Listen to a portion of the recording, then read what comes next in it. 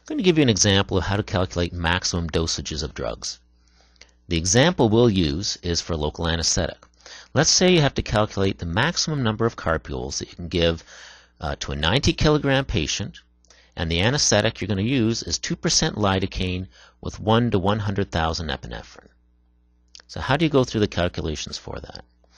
First of all, the maximum dose for lidocaine is 4.4 milligrams per kilogram.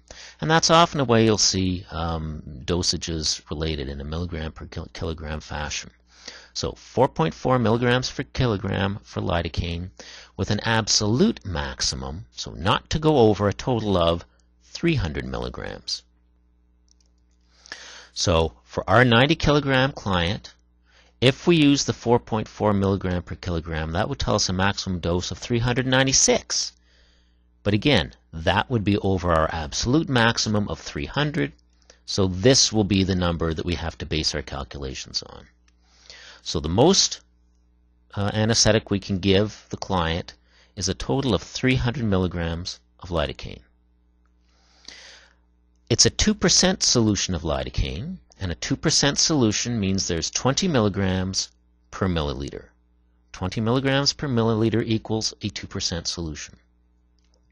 A carpule holds 1.8 milliliters of solution, which means there's 36 milligrams of lidocaine per carpule of anesthetic. So every anesthetic, every carpule of uh, 2% lidocaine will have a total of 36 milligrams of the drug in the carpule. The most we can give them is a maximum of 300 milligrams.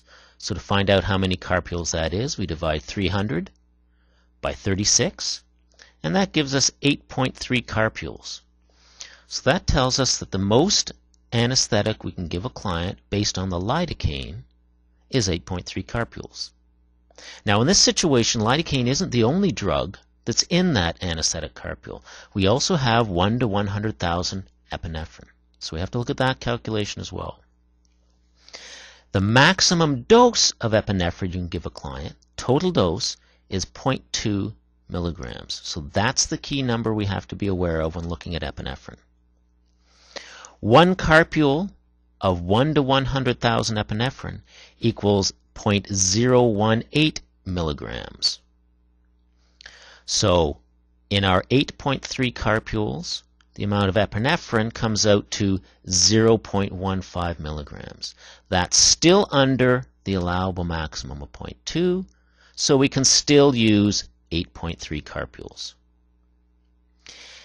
If instead of 2% lidocaine to 1 and 1 to 100,000 epinephrine, it was 1 to 50,000 epinephrine. That would be twice as much epinephrine as in the scenario we just did. In that case, the amount of epinephrine would be the limiting factor of how many carpules we can give. So always when looking at um, trying to determine how much anesthetic a client can actually receive, you have to do the calculations on all of the drugs that are in that carpule. The other thing to be aware of is the amount of time the anesthetic is administered over. Totally different story if I administer 8.3 carpules over an 8 hour long appointment. That's much different than if, if I give them 8.3 carpules right in a row at the beginning of an appointment. So again, the maximum amount you can give a client is dependent on the drug qualities and quantities, and also dependent on the amount of time that the anesthetic is administered over.